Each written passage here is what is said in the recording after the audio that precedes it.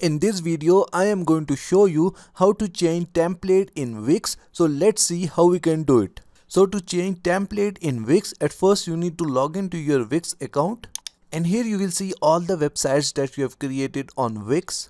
Now to change the template of your Wix website, you must need to upgrade your website to the premium plan because you cannot change the template of your website in the free plan.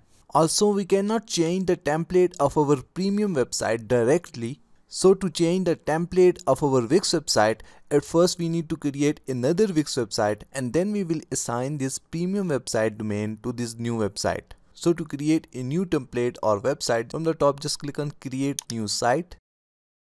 Click setup without AI. Select your website type and then click on next. Click on skip for now and then click on next. Click on continue to dashboard. And now from the top just click on design site. Now select pick a template. And now from here select a template for your website. And in this way your new website will be created with the new template. When you are finished creating your new website go back to your Wix account. And then from the top just click on your account icon.